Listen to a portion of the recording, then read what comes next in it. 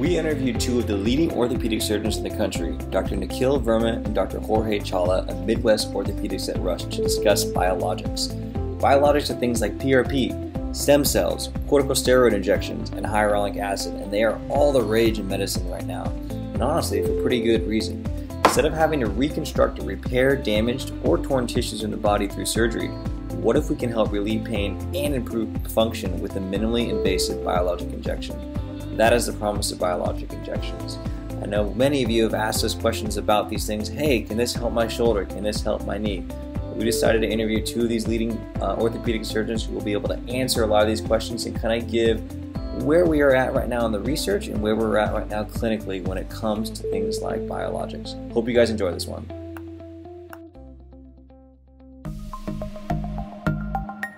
Prehab Audio Experience will teach you how to take control of your health through knowledge by optimizing performance, promoting longevity, and keeping your movement system in tune. Welcome to your host, the Prehab Guys.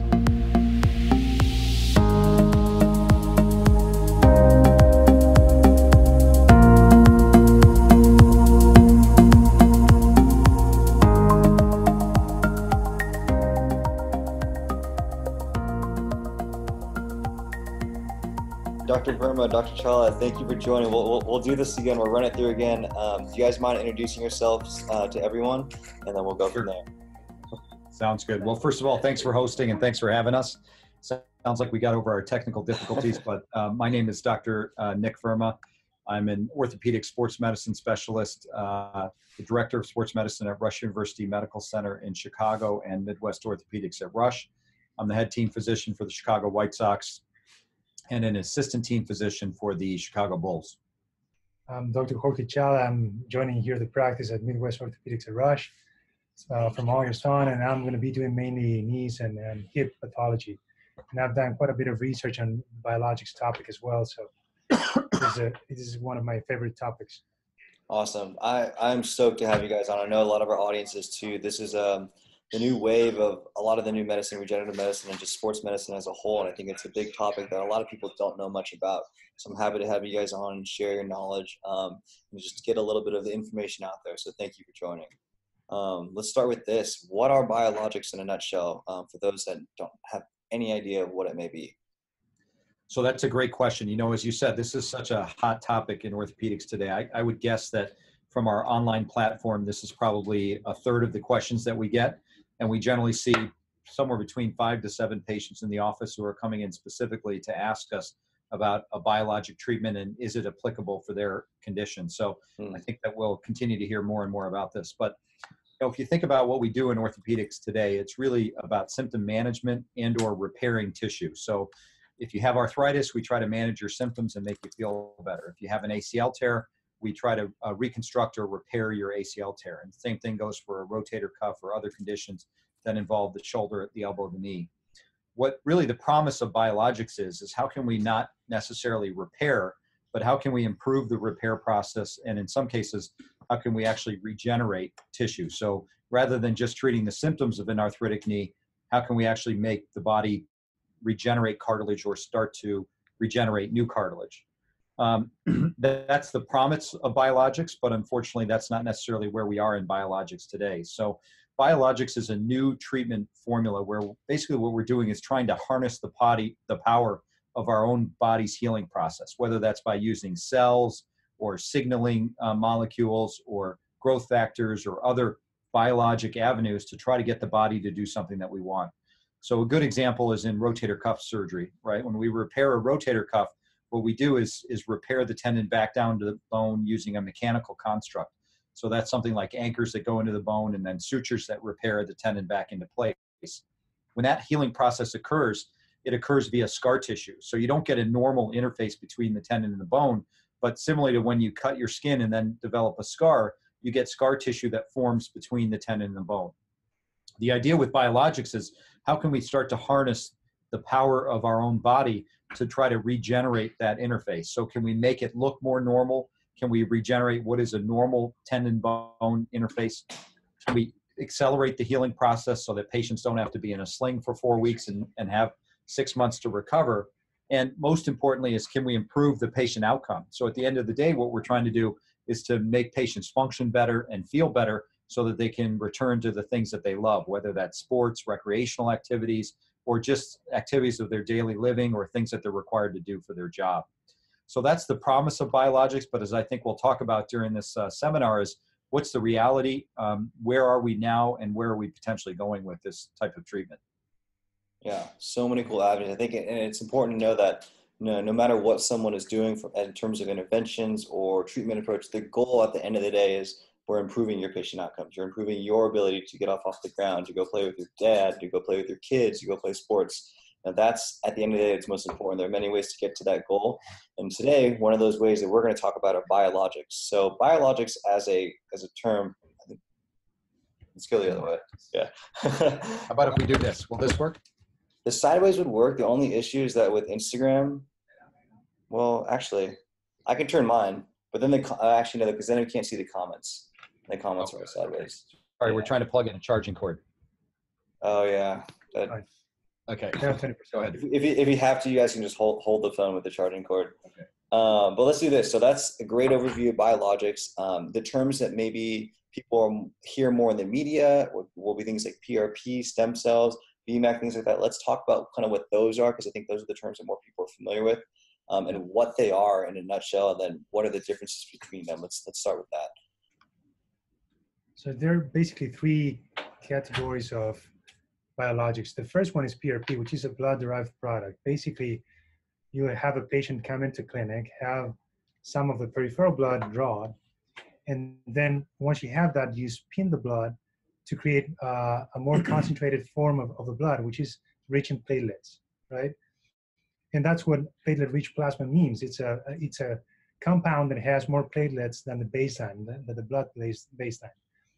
However, when you think about it, we don't even know if we need the platelets to begin with. We are assuming that, that they're going to deliver growth factors and all this good stuff for healing. But there are a couple of studies now showing that if you have too many platelets or too much platelets, then the outcomes is actually the outcome is actually worse. Mm we did a study where we basically look at 160 rabbits. We did a, uh, an MCL tear, and then we did nothing, so just left it the way it was. Then we injected PPP, which is platelet poor plasma, PRP two times the baseline and four times. And what we saw is that when we get to the, the more platelets group, so four times the baseline, they did worse, even than, than, the, than the group that didn't have anything done. So it is important that we understand that we don't even know how much platelets we have, we need for it to make a good impact.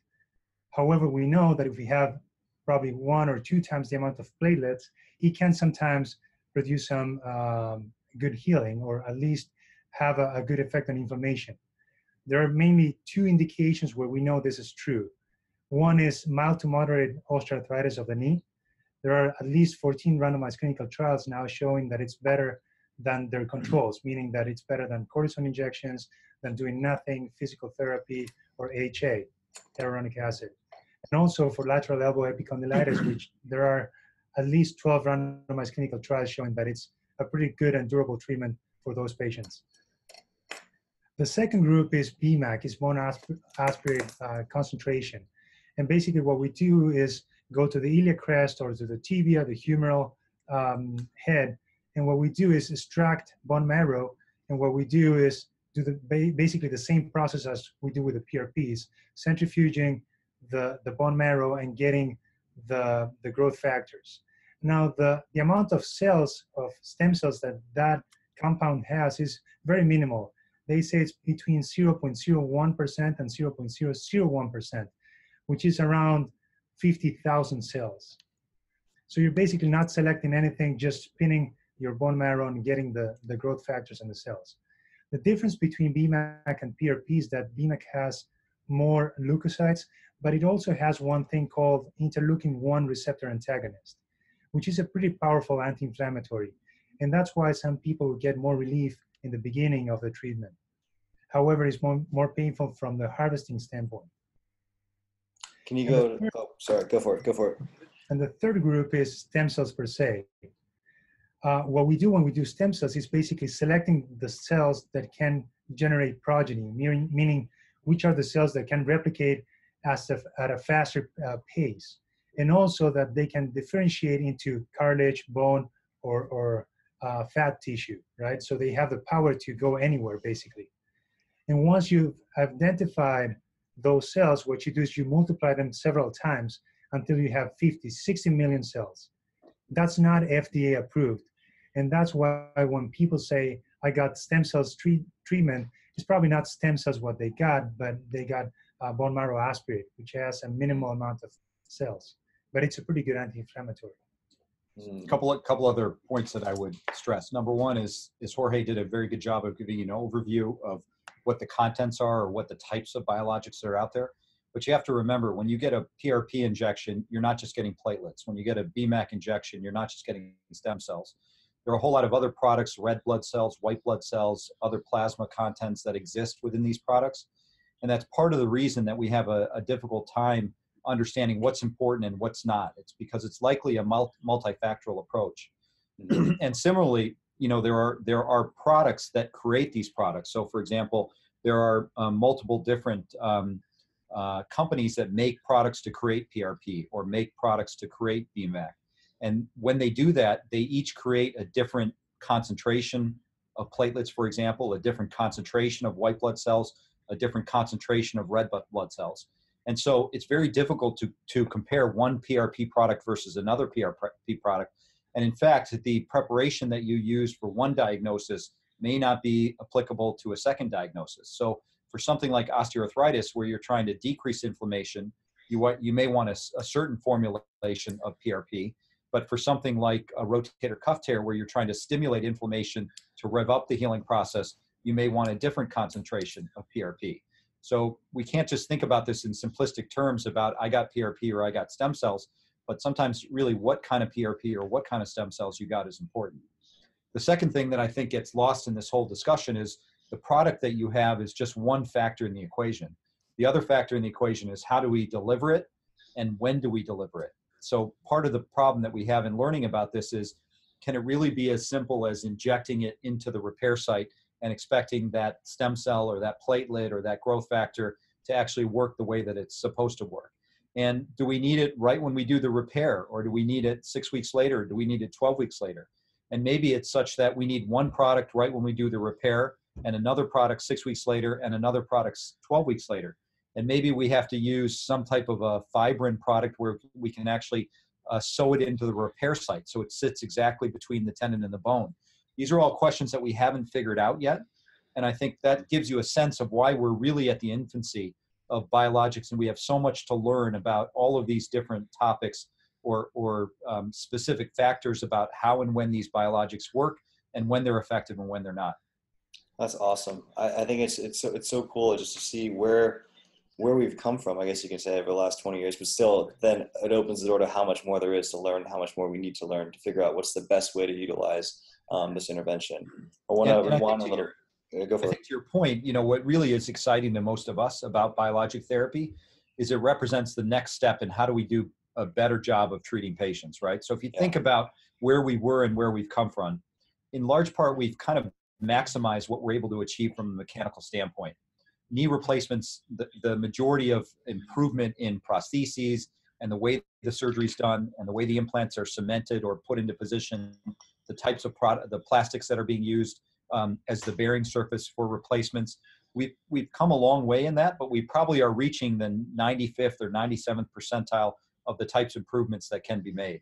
Mm-hmm. Really, the next step is how do we go from just repairing tissue to restoring tissue? And that, that's where the promise of biologics lie. The problem is that at this point, it's, it's a fairly unregulated field. Um, there's really not a lot of regulation that's involved when you take something out of a person and inject it back into the person at the same time frame. And so a lot of claims are out there about how we can cure arthritis or how we can um, reverse rotator cuff tears or do things that we certainly know we can't do with biologics at this stage. So you really have to be careful and ask the hard questions about what are they using, why are they using it, what's the data that they have to support that it actually works for the condition that you have.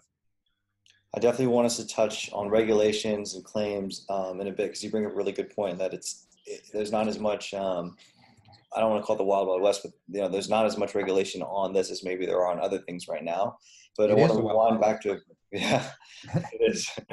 Uh, I want to rewind a little bit back to what you said about inflammation. How you may have certain certain conditions like osteoarthritis where you are going to want to limit inflammation, but you may have other issues like um, chronic tendinopathies or something like that where you want to speed up the inflammatory process. And I think a question that we get asked for a correlation that's not a correlation, but people have the assumption that inflammation is always a bad thing, but it's not always a bad thing. Can you guys go ahead and explain how inflammation is one of the things that you guys are targeting or that biologics target and how it actually is part of the natural healing process? And that's kind of what we're trying to um, tap into with some of these biologics. So the healing process has four phases. The first phase of healing is inflammation. The problem is when you have a chronic entity or a chronic disease, then that first phase is lost. So the body doesn't recognize that as a new disease or as a new injury, and therefore doesn't go and heal it. So what you what you basically try to do when you inject this PRP with multiple or with a several amount or a big amount of leukocytes or uh, white blood cells is probably trigger that first phase so can so that the whole healing phase can start. Does that make sense? So let's say you have a lateral elbow, elbow epicondylitis and it's been there for years, right? And you've done some physical therapy but doesn't seem to make it better. Then if you do a PRP injection, your first aim will be to create inflammation, which means that it's going to be pretty painful for the patient for the probably two, three days after the injection. And then that healing phase is going to lead to the rest of the three phases of the repair mm-hmm. process. So it's basically just triggering the healing process from the first phase on. Yeah, I think one of one of the important things to think about is why did these injuries happen in the first place? And if you look at a common denominator in many of the soft tissue injuries that we treat today, the common denominator is that they occur in an area where there's relatively low blood supply, which means that degeneration happens over time. There's not enough blood supply being delivered to the area for the body to then initiate a reparative process, as Jorge spoke about. And so over time, you get chronic fatigue that then results in ultimately a rupture of your Achilles tendon or a rupture of your rotator cuff um, or a tear of your biceps, for example. And so what we're trying to do with, with um, either a growth factor type product or a, uh, a cellular type product is to initiate an inflammatory response and to bring uh, blood products, blood supply back into the area. So one of the key ways that we think some of these products work is by creating a process called angiogenesis. And angiogenesis is very simply put is stimulating the body to lay down new capillary blood vessels to bring blood supply back into the area to allow a healing uh, process to occur. So you're trying to create uh, an area that's very uh, devoid of, of blood products and blood supply and create an area that's very rich in blood products and blood supply. That's an At awesome. that point, I think it's important that moving forward, we need to customize our PRP, right? Because PRP has so many growth factors that sometimes do the opposite thing, right? So, mm-hmm. for example, PRP has something called VEGF. That's one of the growth factors which speaks to what Dr. Verma was saying, create more vessels in the damaged tissue. But if you want to repair cartilage, for example, cartilage is an avascular tissue, meaning that you don't want vessels to be there. And if you do, it, it becomes a really bad repair tissue. So moving forward, let's say that we want to inject something in the knee, we'll have to block that to be able to create a better tissue, a better repair tissue, if that makes sense. So now there's some animal studies showing that if you actually block those things and you block fibrosis, for example, then the repair tissue that you get is better. Whereas if you inject the whole PRP, it's like a shotgun approach where you're trying to heal some something with multiple things that probably you don't need. Got it. That speaks again to what you guys are saying in the literature and the research, why it's so hard to make comparisons between studies or make uh, stronger statements, just because every study is going to be looking at different things, different constituents, um, and what they're injecting, or how they're injecting, and the techniques they're using to inject. So Um, actually, we looked into this, and only from 105 articles in the literature talking about PRP, there there's only 11% that reports on every single thing that you need to replicate the study. Hmm. So people won't tell you which machine they use sometimes, uh, which piece do they use, how many spins do they do, how they inject this thing. So it's really hard to compare the outcomes if you don't have a baseline that you you need to use to compare this. And to that point, we we created some guidelines for people to report on so we can have the same outcome measures that we can actually compare. yeah. And then, you know, you add on top of that, you layer on top of that what we call host factors, right? So how does our ability to harvest stem cells change from a 16 year old to a 60 year old? Um, how do factors like diabetes and hypertension and smoking play a role in what these products look like and how do they work? So again, I hope what we're laying um, kind of an outline for you is the fact that this is not as simple as showing up in your doctor's office and saying, I want some stem cells in my knee because I've got arthritis. There's so many layers to the different factors that are going to affect either a positive outcome or a negative outcome. And most of them, unfortunately, we just don't completely understand at this point. Going off what you said about the literature and compiling some of those studies that actually go through the methods so you can start to make those comparisons. If we look at the body of literature right now, are there any conditions, certain conditions? We had a lot of questions from our audience about certain conditions of when PRP can be used, when stem cell can be used. Um, and like you said, it's going to be very individualized to that person, to what exactly they're getting done. Um, but are there certain areas of the body, based on what you said on blood flow and inflammation, that you think um, some of these biologics may be more promising than others, or maybe where the literature has showed you know trends towards being more promising than others? Yeah, Jorge, Jorge, you already commented on this, but you want to take that? Sure. There's a couple of things that are more promising at this point. Um, mild to moderate osteoarthritis is one of the of the fields that has the most literature. There's at least, at least 14 randomized clinical trials showing that it's beneficial in comparison to cortisone injections, to hyaluronic acid injections, to placebo, to a physical therapy. And it's a durable. And he's speaking specifically about PRP now, not Correct. stem cells. So we're just, just talking about PRP. Just PRP. Yes, and basically what you what you get is a patient that has mild to moderate OA. So basically, if you have more OA, bone-on-bone arthritis, then these therapies are less likely to work. So the less you have, the more chances you have that this is going to work. And basically, what study says says is that if you have three injections, it's better than if you have one, and the mean duration of, of the symptom relief is nine months. Good. Regarding BMAC, there's just only one randomized clinical trial, which is double-blinded out of Mayo Clinic, which in which they took 25 patients with bilateral osteoarthritis. They injected saline on one knee and wow. BMAC on the other knee, and the outcomes were the same.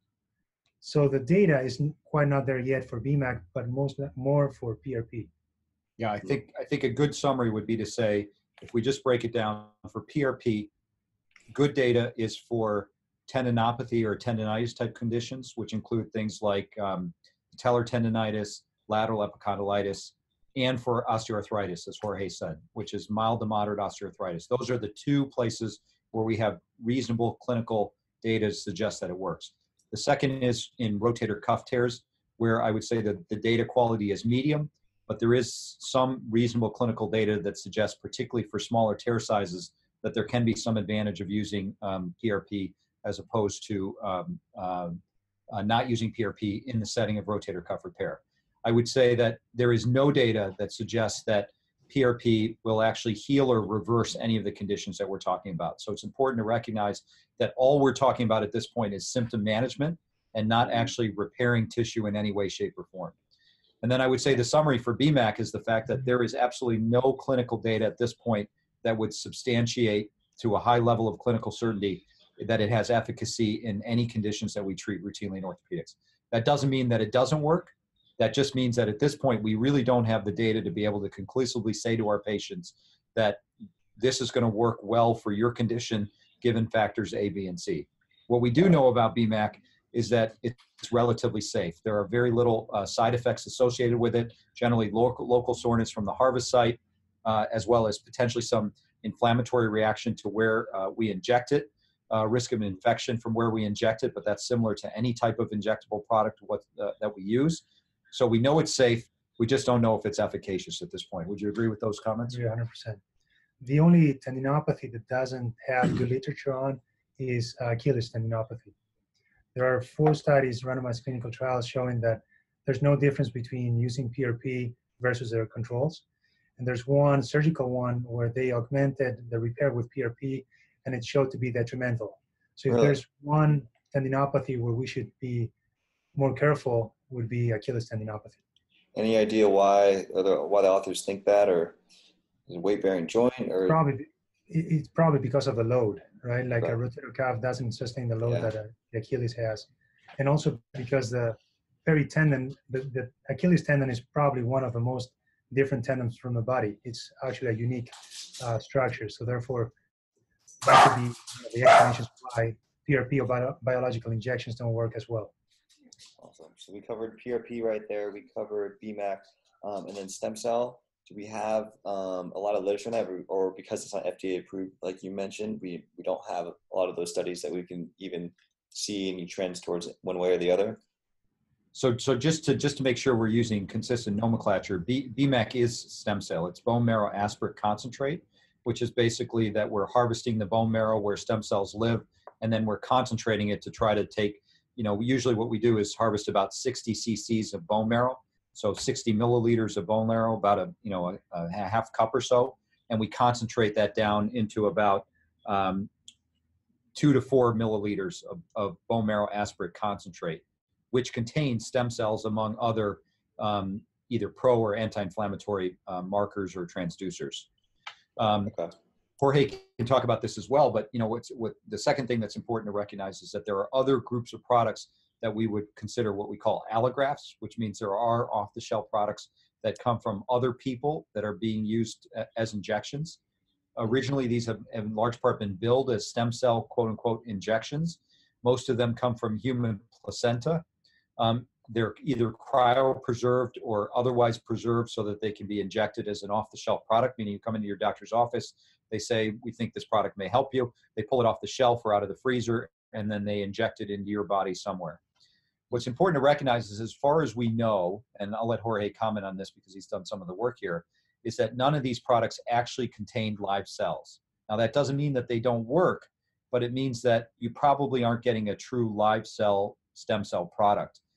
There may be other things that signal either pro uh, inflammation or anti inflammation that help with things like healing or symptom reduction, uh, but they're really not truly stem cell project, products. That's a good point. So all this placental tissue, amniotic stem cells that they claim, if you look into the websites, they can't claim that because that's that wouldn't be FDA approved. Mm. But we get a lot of that when we see the the reps and they say, well, you have two million cells in this thing right here that you can shake and, and stuff. And if you have done any work in the lab, you have to understand that growing cells is really difficult and make them stay stay live. And, and it's like really hard to grow them and really hard to maintain those cells alive. So it is really hard to think that those cells are going to be living in a shell for five years just standing in, in, in that fluid. As Dr. Verma said, it doesn't mean that doesn't work, but there might be some other things such as growth factors and, and other proteins that are doing the effect and not necessarily the stem cells with, with it. So really, if we're going to use broad categories, probably there are three different categories. One is PRP, one is stem cell concentrate, which can come from two places. We most commonly use stem cell concentrate that comes from bone marrow, but you can also get it from adipose tissue. So it's almost like a mini liposuction type procedure um, where you take a little bit of fat and then you, you stimulate the fat to break up the fat and harvest the stem cells.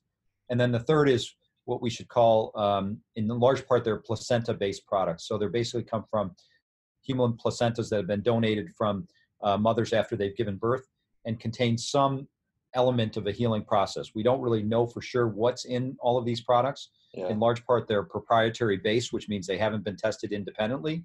So it's Mm. very hard for us as investigators to really verify what's in a product and what's not in a product.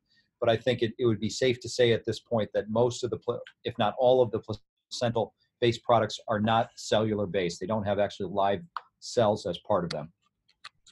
Wow. It's interesting, yeah, because when you look at the consumer-facing things, the websites, the social media channels, the things that you know the consumer sees, you you don't get any of this information. You don't get any of this insight. You don't you don't see any of this at all. You know, um, but it's really important that we're out there educating people that it's not this gold ticket that all of a sudden just came out of nowhere. Then we can trust all these things.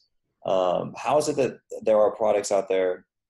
I know FDA approval listings, or it, it goes down a rabbit hole, but there, will there ever be a way that you know the consumer will know and be a way to be able to validate a lot of these claims that companies make so that they're more informed and more educated or will it have to be from discussions like what we're having today where the consumers and our patients are going to be more educated on the things that they hear online or the things that they hear on the ads and, and things like that.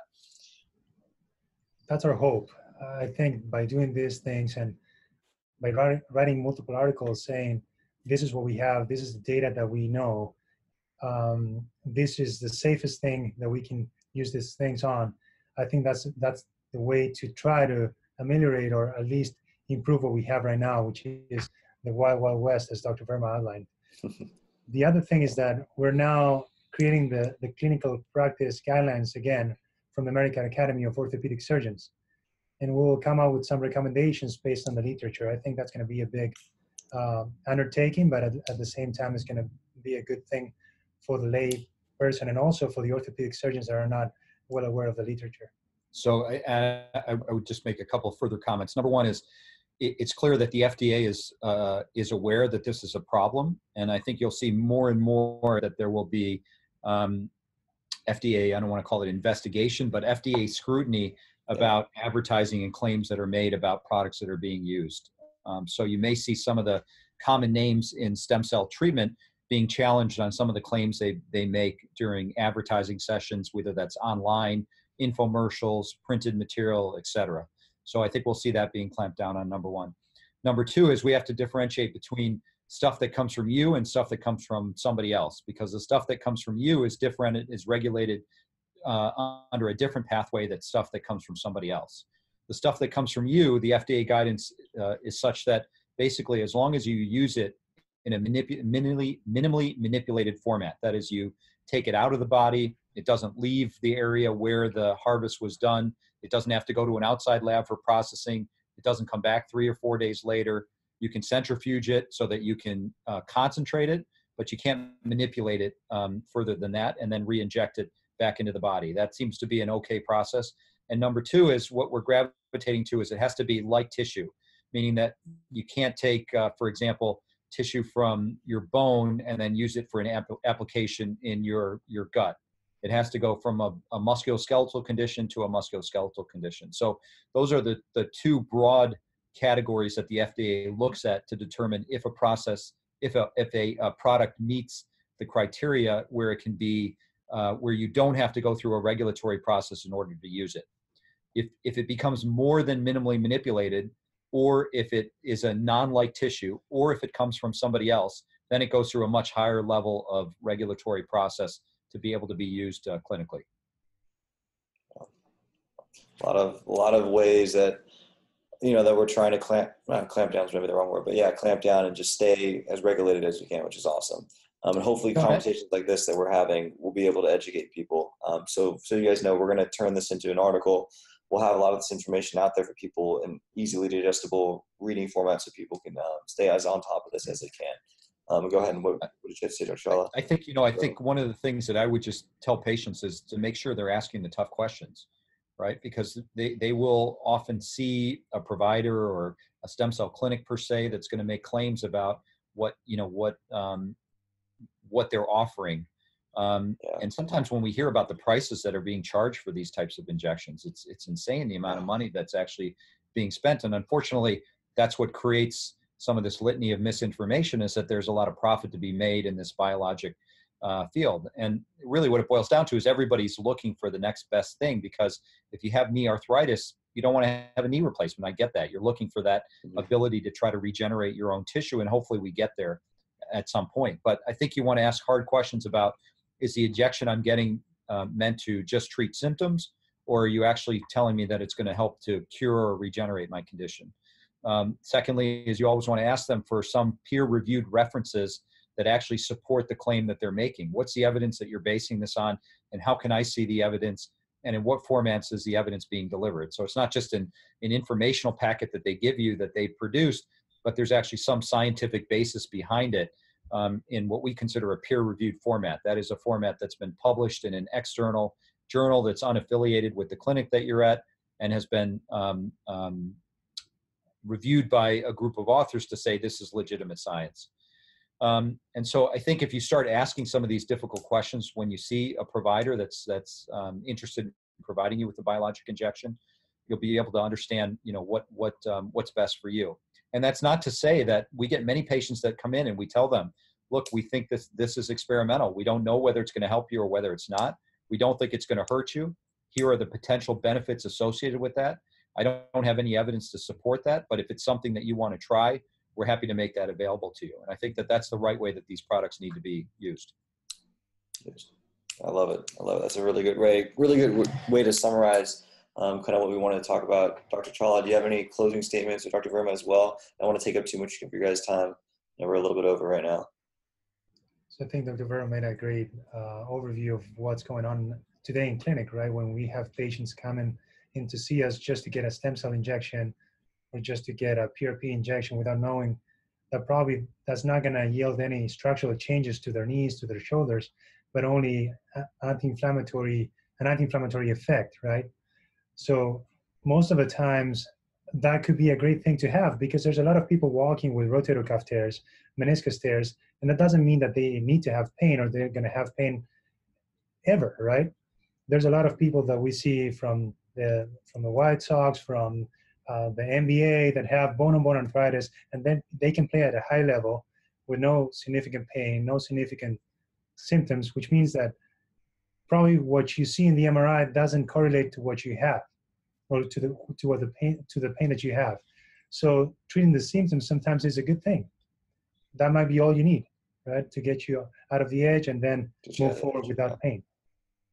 Yeah, the last thing I'll say is if it sounds too good to tr- be true, it probably is. That's where we are in biologics right now. Is uh, unfortunately, you know, that's the case that we get in the office every day. Is somebody got told that they're going to have a stem cell injection, it's going to reverse their arthritis, and that's just not the case. Yeah, it is. It is promising. Hope, hopefully, in our lifetime, I think maybe we'll be able to get there. I mean, if you just think like you were talking about where where surgeries have gone, where we've from and total hip replacements, total knee replacements, just in the last since I've been alive, I'm 30 years old. They've gone significant, you know, and hopefully with biologics we'll be able to get there too. Hopeful. Absolutely, and and it's not to sound discouraging. It's just to give you a sense of where we are right now. But I think that's why many of us in the in the orthopedic community are so excited about these products because they actually do give us the potential to offer um, regenerative type treatments. I don't think the use of regenerative medicine is actually accurate where we are in 2019 but mm-hmm. hopefully in 10 years 15 years or 20 years we will actually have regenerative biologics to offer our patients. That's awesome. Let's end it with that. Um, dr verma dr chahla thank you so much for joining. Um, really really appreciate you guys time. This was awesome. This is super informative for all of our audiences. Um, let's definitely do this again thanks for having thank us guys thank you for having us awesome Thank you for listening to this podcast with Dr. Nikhil Verma and Dr. Jorge Chahla. It was an awesome, awesome podcast, really eye opening. I learned a ton, and I hope you guys did as well. Don't forget, if you enjoyed it, please, please, please rate, review, and subscribe to our podcast. Also, let us know if there's any other topics you'd be interested in us covering or going over, or if there's anyone that you like, that you follow, that you would love to have us interview. If you haven't seen our new website, check it out